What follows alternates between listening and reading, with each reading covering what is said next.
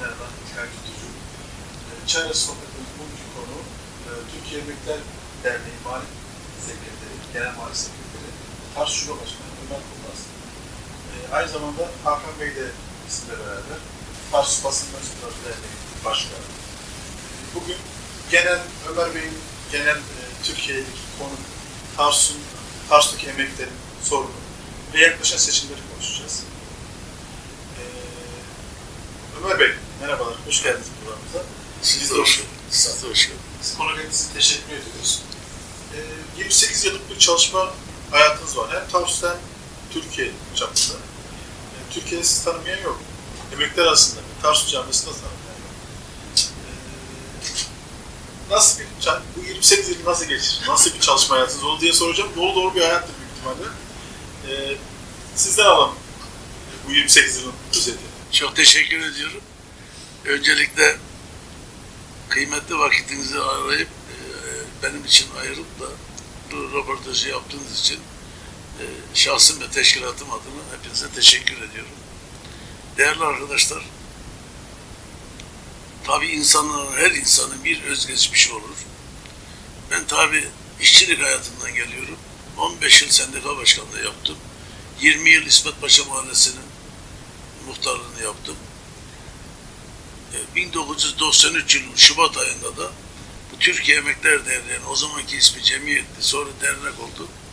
Türkiye Emekler Derneği'ni kurdum Tarsus'ta. Aşağı yukarı 28 yıldır da e, Tarsus Şubesi'nin başkanlığını ve 2004 yılında Türkiye'deki bütün şubelerimizin toplanarak Ankara'da yapmış oldukları genel kurulda Ankara'ya genel merkeze beş kişiden biri olarak genel merkeze seçildim. Oradaki görevimde genel mali sekreterlik, halk dilimiyle saymanlık. Ee, demek ki bize öyle bir görev tevcih ettiler ki bu teşkilatın bütün parasını bana emanet ettiler. Yani benim bulunduğum meslek yönünde yani genel mali sekreter olduğum için.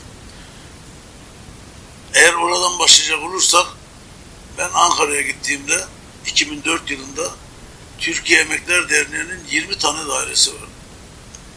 Şu anda Türkiye'de Türkiye'de Türkiye Emekler Derneği'nin 194 tane dairesi var. Ben benim öyle bir yapım var ki parayı pulu hep ben mala mülke yatırdım. Yani öyle gelen para bankada kalsın, şurada burada olsun diye. Ben Türkiye Emekler Derneği'nin genel merkezini Türkiye'de mülk zengini yaptım. Bunu da şöyle başardım. Şubelerin kendi gücü yetmiyordu bir bina almaya. Genel merkezden şubelere borç verdim. Her yıl giden aidatlardan onları keserek bütün şubelerimizi aşağı yukarı mal mülk sahibi yaptım. Bunun içerisinde Tarsus dahil. Biraz sonra Tarsus'u anlatacağım size. Onun için genel merkezde sadece şubelerimizin malı mülkü olmadı. Genel merkezimiz bir binada 42 tane dairesi olan bir binada küçük bir yerde çalışıyordu. Şu anda Ankara'da e, bizim 8 katlı bir binamız var. Özel kendimize yaptırdık. Orada toplantı salonumuz var. Yani bütün personelimizin çalışacağı, büro elemanların çalışacağı, ve beş tane yönetim kurulu üyesinin de e, çalışma odasında olacağı bir genel merkez binası yaptırdık Ankara'ya. Biz yetinmedik onunla. Bu emeklinin e, tatile de ihtiyacı var dedik. Erdek'te o zamanki parayla demek ki 2008'de 2008'de o zamanki e, e, liralar, paralar milyar konuşuluyordu. Yani trilyon, milyar konuşuyordu. Şimdiki bin lira diyor.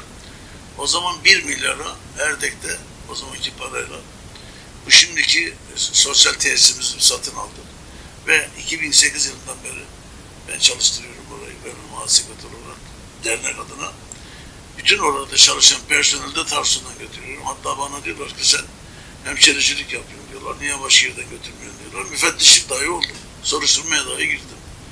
Bu sene de yine 20'ye yakın Tarsus'u götürdüm. Orada şu anda çalışıyorum.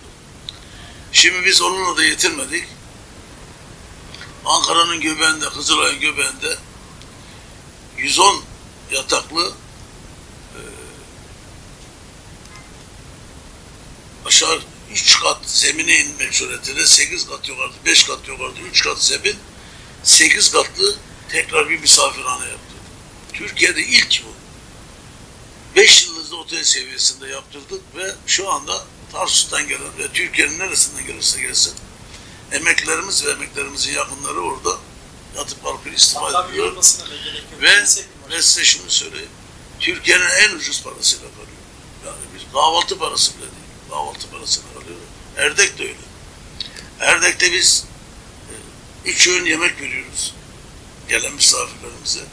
İçtiği gazozu, çayı, meşrubatı her şey içerisinde dahil yatması kalkması 70 lira alıyor.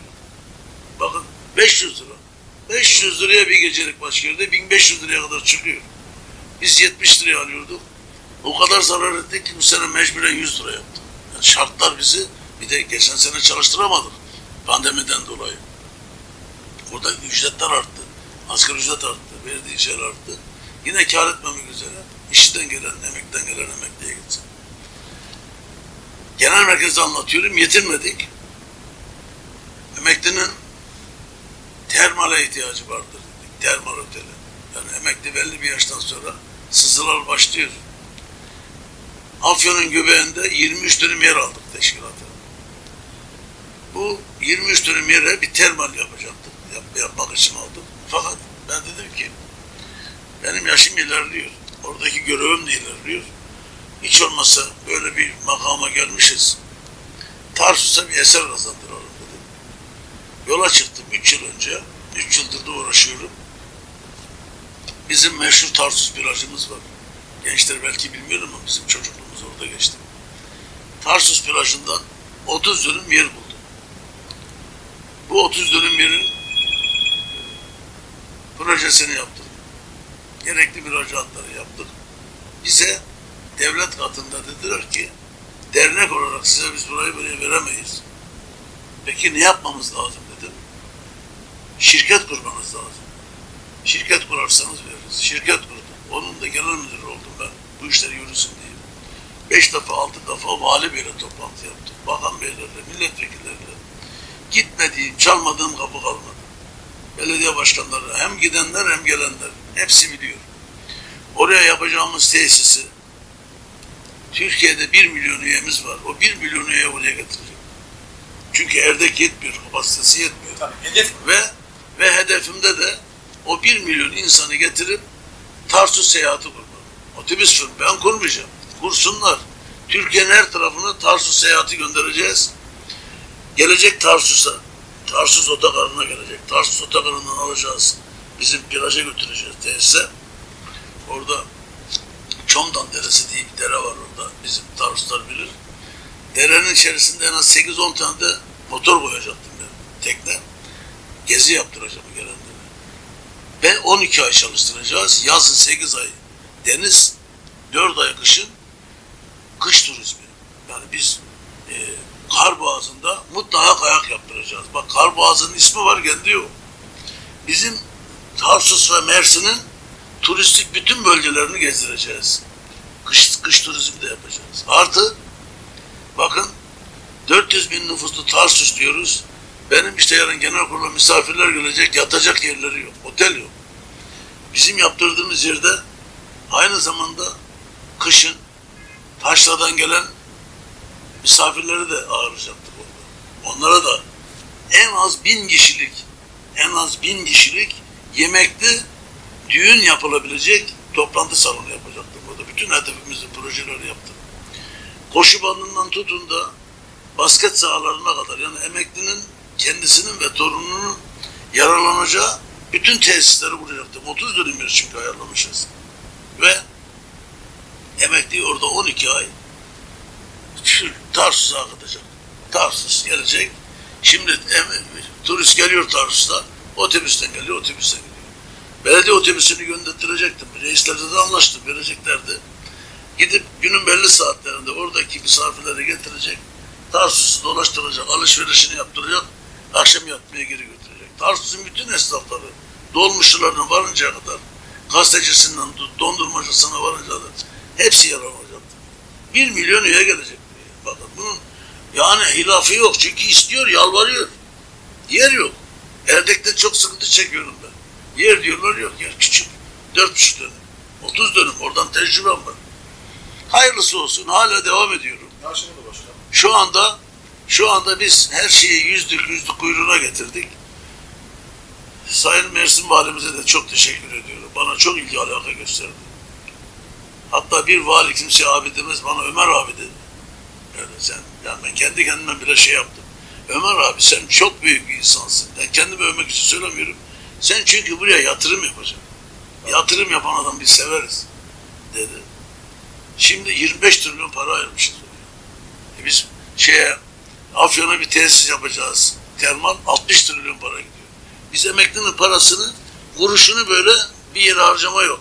Emekli yine oradan istifa edip emekliye geri dönecek. Mesela hedefimiz bu. Şimdi biz orası önce Orman Bakanlığı'na bağlı dediler. Orman Bakanlığı ile görüştük, işimizi hallettik genel müdürlükleriyle. Dediler ki Orman Bakanlığı'ndan ya bir bizden Çevre Bakanlığı'na gidecek. Bu şehircilik, Çevre Şehircilik Bakanı. Çevre Şehircilik Bakanlığı'yla işi hallettik. Üç yıldır mücadele ediyorum. Bunun hep genel müdürleriyle. Hep bu kayıtlı. mevcut. Onlar da dediler ki bu sizin yaptığınız iş turizme giriyor. Turizm Bakanlığı'yla yapacaksınız bu işi. Sözleşmeyi. Ama onlar evrakları oraya gönderiyor. Onlardan tamam geçiriyor. O kolay değil. Kabul ettiriyoruz. Mesela Orman Bakanlığı'ndan alırken burası orman değildir. Çevre Bakanlığı'ndan alırken işte burası şeye müsaittir. Evet. Ondan sonra Turizm Bakanlığı'na geldi. Kiralayacağız. İlk defa anlatıyorum size burada. Türkiye ilk defa duyacak. Üçüncü derece sit alanı, bir günde ikinci derece sit alanı oldu. İkinci derece oldu. Çivi çalındı. Gitmediğim milletvekili varmadı. Gitme. Yani Lütfi Elvan'dan tut da başka grup başkan vekillerine varınca da. Bütün bölge, hatta bölge milletvekilimiz Sayın Baki Şimşek meclise getirdi. Dedi ki Mersin'e yatırım yapmıyorsunuz. Yatırım yapanlar var, yer vermiyorsunuz diye mecliste bile. Başladık. Evet. Evet ondan sonra e, şi- orada ikinci derecesi talanı olunca biz geri durduk. Yapacağımız bir şey yok. Şimdi olur olmaz bilmiyorum. Bir aracı çıktı meydana. Dedi ki ben bu işi hallederim. Ben dedim ki sen hallet. Biz de gerekeni yaparız. dedim, Açık söyleyeyim. O şimdi bana telefon etti ben buradayım. Ben yüzüm yüzüm kuyruğuna getirdim iş olacak dedi. Dedim genel kuruldan sonra görüşürüz. Eğer olursa inşallah biz hemen kazmayı vuracağız. Mersin bizim şeye. Türkiye buraya gelecek. Allah o, o günleri göstersin. Yani ben ölmeden gözüm açık gitmesin. Onun için söylüyorum. Şimdi bu genel merkezin çalışmaları, şubelerimiz var. Bütün şubelerin binaları var. Yöneticiyiz orada. Sayılıyoruz. Abi konumundayız. Onları geçtik kendi şubemize gelelim. Sevgili başkanım orada bir çok dileriz. Buyur. Ee, şimdi tabii siz da anlatıyorsunuz. Saatler, zamanlar, sabahlar olmaz. Öyle söyleyeyim. 26 Haziran e, Cumartesi. Genel, e. Cumartesi günü genel kurulumuz var. Evet. Seçimde e, biz basın olarak takip, yakından takip ettiğimiz için kuşlarına aday. Evet. Sizin 28 yıllık e, hizmetlerinizdeki bize anlattığınız şimdi bu seçimden sonra bu anlatımlarınıza göre e, kendinizden o kadar emin konuşuyorsunuz. E, beni Türkiye tanıyor diyorsunuz. Bu konuda yaptığınız hizmetleri ön plana getiriyorsunuz. Peki 26 Haziran e, Cumartesi günü genel kuruldan sonra eğer kazanırsanız e, bu kadar emin konuşuyorsunuz. E, bu anlattığınız projeyi devam edeceksiniz. Yeni projeniz var bunun haricinde. Yani Türkiye Tarsus'a ben 1 milyon taşımak istiyorum. Turistik açısından tabii 1 milyon emekli yani şöyle mi diyelim bir başlık atalım. 1 milyon emekliyi Ömer Kurnaz Tarsus'a getirme projesi. Evet. Evet. Evet. Doğru. Başka var mı? Tabii. Var tabii işte. E, Afyon'a e, termal yapacağız. Bu yanında Afyon proje yapıyor şu anda. E, bu yine emekli yer olacak. Buradan binecek Afyon'a gidecek. Şimdi bizim burada çift dağım var. Çeşitli şey- şeyler var. Evet. E, oraya gidin fiyatlara bir bakın. Biz de kar amacı gütmediğimiz için çok cüzi bir paraya gidip gelecek. Emeklinin durumu belli. Emeklinin kendi bütçesine göre olacak bu işler. Peki bu sevda nereden geliyor sevgili Ömer Bu Başkan? sevda bu sevdası olsun. Yani siyasete girmediniz. Açık- basın olarak biliyoruz. açık söyle. size Açık söyle. ettiğini ben yakını biliyorum. Bak Basın Beni- beni- başka beni herkes Neden duysun. girmediniz? beni herkes duysun ama hiç kimse kınamasın. Evet. Ben Tarsus sevdalısı bir insanım. Evet. Ben Tarsus aşığım. Benim için Tarsus'ta yaşayan insanlar önemli. Ha demesinler bana bu ayrım yapıyor diye. Ben ayrımı şöyle yapıyorum. Hani bazen insanlara söylüyorlar taraflı mısın, tarafsız mısın diye. Ben Tarsus'tan yana taraflıyım. Yeter ki Tarsus'ta nefes alsın, suyunu içsin Tarsus'un. Hepsi benim başımın tacı. Ben Tarsus'ta yaşayanlara hizmet etmek için yaşım ne olursa olsun mücadelemi devam ettireceğim. Ne bırakabilirsem, ne yapabilirsem. Ben inanıyorum bir şeyler yaptım. Ama Tarsus'un Ankara'da dost kapısı olmaya devam edeceğim. Hiçbir Tarsus'ta Ankara'ya geldiği zaman boynum bükük kalmayacağım. Orada bir Ömer amcaların olduğunu bilecekler. Allah nasip ederse. Ben Tarsus, ben, ben e, şeyden endişem yok. Çünkü niye? O ben başkan adaylarına da başarı diliyorum. Niye? Hepsinin babasıyım. Onlar hep ben üye yapmışım. Bunu kurmuşum. Bak onlar üye yapmışım. Karşıma aday oluyor. Ben seviniyorum. Evet. Seviniyorum. Yani demek ki biz bir şeyler yapmışız. Bak bunu bir şey söyleyeyim size ben. Türkiye'de 114 şubemiz var. Hiç çalışmayıp sabah 10'da açıp 1'de kapatan şubeler var. Üye görmez bile başkanını. Orada hiç aday çıkmaz. Çıkmaz. Ya, üyenin haberi bile yok. Ama biz 24 saat burada üyenin karşısındayız. Benim bu şubem sigorta gibi çalışır. Biz burada üç günde emekli maaşı bağlarız. Ne olursa olsun yeter ki gayrimeşru olmasın. Hak etmişsin. Hiç. Çünkü herkesle iyi geçim ederiz biz. Bütün siyasi partilerle iyi geçim ederiz.